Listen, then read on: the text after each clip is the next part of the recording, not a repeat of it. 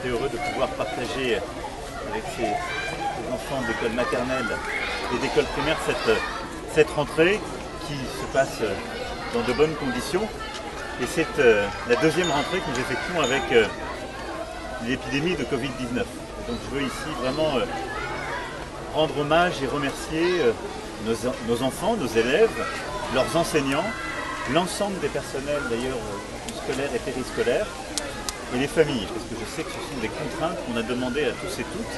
Vous savez combien la France a tenu à, laisser ses écoles ouvertes, et ce à partir du, 11 mai 2020, pour ne pas justement céder en quelque sorte à la fatalité. Ça a nécessité beaucoup de travail, une très grande organisation. Le ministre est revenu plusieurs fois. Et cette deuxième rentrée euh, partant de Covid, avec un protocole qui a été expliqué durant l'été par, par, le ministre, c'est euh, déjà une victoire en quelque sorte pour moi sur euh, forme de fatalité. On peut continuer à faire les choses et on doit continuer à vivre, à éduquer et à apprendre avec le virus. Ensuite, cette, euh, rentrée nous, conduit à, continuer à déployer notre stratégie. Je ne vais pas ici euh, revenir sur absolument toutes les réformes que nous avons menées dans le cadre de l'éducation nationale, mais vous savez depuis le début, il cette volonté de se battre pour l'égalité des chances. Nous sommes dans un quartier d'éducation prioritaire et depuis le début du quinquennat, nous avons mené euh, des réformes extrêmement structurantes, le dédoublement des CPCE1. Nous en avons parlé avec les, enseignantes qui, en voient aujourd'hui les effets et les changements.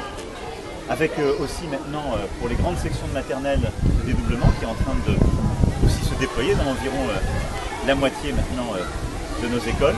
On va continuer sur, sur cette logique qui consiste dans les endroits en quelque sorte où on a concentré les difficultés, la pauvreté, les difficultés familiales, de logement, rémunération va, multiplier l'investissement de la nation pour que les enfants puissent apprendre mieux. Ceci vient s'ajouter à tout ce qui a été fait par ailleurs dans le cadre de l'éducation, de la politique de la ville, par exemple avec les cités éducatives et beaucoup d'autres initiatives, devoirs faits pour les collèges, etc., Troisième chose que je voulais vous dire, c'est que nous avons aussi, depuis le début du quinquennat, nous venons à euh, cet égard d'en parler, la volonté aussi d'avoir une école plus inclusive, c'est-à-dire de permettre à tous nos enfants qui sont en situation de handicap, quand ils le peuvent, d'être scolarisés et de rester à l'école en étant accompagnés. Et donc ça, c'est un travail d'abord d'information des parents, de changement du regard, et évidemment d'organisation. Nous avons donc assumé une montée euh, en charge progressive, mais qui est aussi inédite, pour avoir de plus en plus d'accompagnatrices et d'accompagnateurs les AVS ou AESH, dont vous entendez parfois parler, qui sont ces femmes et ces hommes qui permettent à, nos enfants en situation de handicap d'être à l'école et de pouvoir suivre les enseignements. Nous avons de plus en plus d'enfants scolarisés. Notre objectif est que toutes les familles aient une solution. Soit pouvoir être scolarisé à l'école en étant accompagné, soit être en établissement. Et donc euh, le travail aussi des prochains jours et des prochaines semaines, et je remercie le ministre de l'Éducation nationale et, la ministre en charge du handicap, c'est véritablement, dans les prochains jours et prochaines semaines, de construire ces solutions pour répondre aux urgences et aux besoins des familles, parce qu'il y en a toujours dans cette période de rentrée. Mais en faisant ça, nous rompons aussi avec une fatalité qui était de dire pour bien répondre à la situation de handicap, il faut mettre simplement des structures à part. Il faut des structures pour les handicaps les plus lourds. Il faut des classes Ulysse, comme il y en a ici, nous l'avons vu pour des enfants qui ne pourront pas être forcément, euh, sauf dans le, temps euh, de la récréation et, de la cantine avec les autres, mais il faut aussi permettre à des enfants qui ont un, handicap d'être dans la classe avec les autres parce que c'est bon pour eux, c'est bon pour les autres enfants. Ça, ça suppose de créer des postes, on l'a fait, de donner, d'accroître les rémunérations, on le fait progressivement, et de donner de la stabilité à ces postes d'auxiliaires. Et puis enfin, faire euh, cette rentrée à Marseille, c'est un sens tout particulier parce que c'est une ville qui concentre ces difficultés, de pauvreté, ces défis.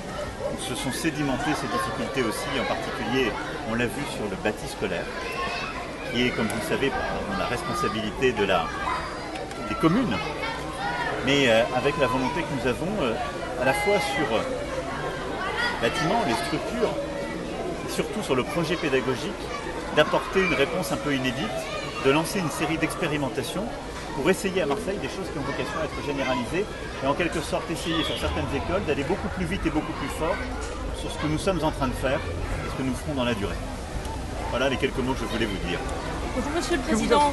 Euh, vous n'êtes pas sans savoir que la cité Bassins hier a été nettoyée de fond en comble avant votre visite. On a enlevé des gravats, des détritus. Tout à fait, ouais. Ici, l'esplanade de l'école également. Et même le gymnase, comme vous a dit euh, euh, le maire, euh, Monsieur Payan, a été nettoyé par services municipaux. N'avez-vous pas l'impression que votre visite et ces images ne reflètent pas la réalité, que vous ne voyez pas la réalité et que dès que vous serez parti, ça redeviendra comme avant? Alors, je pense qu'il ne faut pas confondre le fait de changer les gens et de nettoyer les lieux. Ce qui est très vrai dans ce que vous dites, d'ailleurs plusieurs euh, familles me l'ont dit hier, c'est que les bailleurs sociaux, les services en charge, devraient nettoyer ces lieux de manière régulière. Je n'en ai pas la charge. Vous, vous me reconnaîtrez ce point. Et donc, euh, comme vous, j'ai noté que ça avait nettoyé parce que je me déplaçais. Je le prends comme une forme de, de politesse et d'hospitalité. Je remercie tout le monde. Ça ne règle pas la vie des gens au quotidien. Et vous avez parfaitement raison de le dire. Maintenant, les gens, ils sont là. Et on n'a pas bougé. On leur a pas demandé de répéter quelque chose. Et ils m'ont dit leur réalité. Ce que vous venez de me dire, ils me l'ont dit. Et d'ailleurs, ils me l'ont dit dans leur, sa cruauté et dans leurs revendications. Mais ils ont aussi donné un visage qui n'est pas celui qu'on caricature souvent. C'est ce que j'essayais de, ce dont j'essayais de rendre compte hier. Donc vous avez raison, quand le président de la République arrive, on nettoie toujours ce qui peut être nettoyé. On n'a pas changé malgré tout l'école et ses structures. L'école euh, dite Pailleron, pour euh, celles et ceux d'entre nous qui se souviennent si ils y ont été dans leur enfance, euh, elle n'a pas bougé, elle est là. La difficulté, les mamans qui avaient perdu leurs enfants étaient là hier aussi, qui m'ont dit leur détresse, leur violence. Les parents qui n'arrivaient pas à scolariser leur, leur enfant en situation de handicap parce qu'il y avait tel ou tel problème. Les enfants qui n'arrivaient pas à trouver d'emploi, ils étaient là, ils me l'ont dit.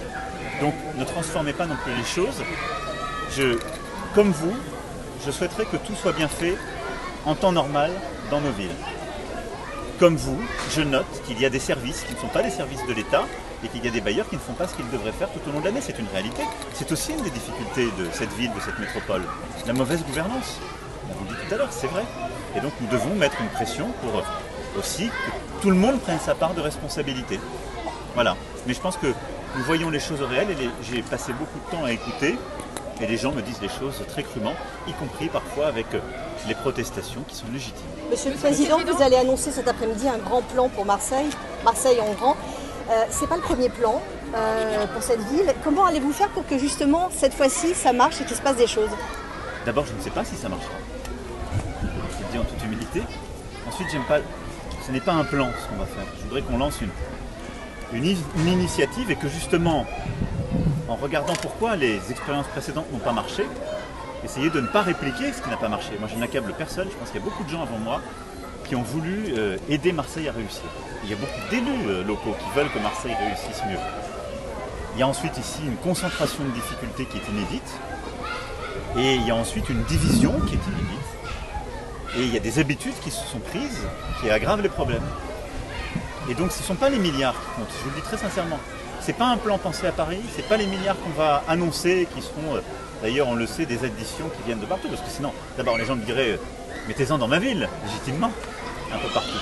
C'est aussi regarder le fait que dans cette deuxième ville de France, qui a cette caractéristique d'avoir les quartiers au cœur de la ville, là où c'est souvent euh, en périphérie et dans les banlieues, ils sont ici au cœur, concentre et qui a continué à concentrer les difficultés, collectivement, n'a pas été à la hauteur en termes de prise de responsabilité collective. Et donc c'est aussi une autre forme d'organisation et de jalon de responsabilité que je vous posais ce soir. C'est une ambition et une exigence. Monsieur le Président, Merci. le ministre de l'Éducation est critiqué par certains pour avoir dit que parfois l'allocation de rentrée scolaire servirait davantage à acheter des écrans plats que des fournitures. Est-ce que vous partagez cet avis? Est-ce que vous êtes favorable par exemple à la transformation de l'allocation de rentrée scolaire en bon d'achat? Je sais que les parlementaires vont en discuter. Je suis attaché à ce que les parlementaires aient la liberté de le faire. Il y a, je crois, plusieurs parlementaires qui ont, qui ont proposé cela. Euh, je pense que, sans prendre tel ou tel exemple, nous- nous serions euh, ou aveugles ou naïfs de penser que la totalité de ce que chaque ménage touche en allocation de rentrée scolaire est reversée pour acheter les fournitures ou les livres des enfants. C'est pas vrai. Et nous tous, nous le savons. Donc je crois que on, on construit bien les choses quand on se base sur un constat lucide et, véridique. Après, il ne faut pas qu'on rentre dans un système de contrôle social où il y aurait une forme de défiance qui se qui s'instaure à l'égard des familles. Il y a comme partout des gens qui font les choses comme il faut, il y a toujours des, des gens qui les font euh, pas comme il faut et qui euh, utilisent l'argent euh, pas aux fins où ça leur est donné. Donc je pense qu'il faut absolument avoir aucune stigmatisation, il ne faut pas simplifier les choses. mais que nos parlementaires s'intéressent à ce sujet et disent on va essayer de s'assurer que l'argent du contribuable va bien au bon endroit, et en particulier qu'on aide les familles à acheter les fournitures et les livres et tout ce dont les enfants ont besoin, parfois aussi les vêtements, etc. pour la rentrée scolaire, je pense que c'est de cette euh, salubrité publique. Merci Est-ce qu'il y a d'autres Comment questions vous allez à la Merci. Simone tout à l'heure, la vaccination à Marseille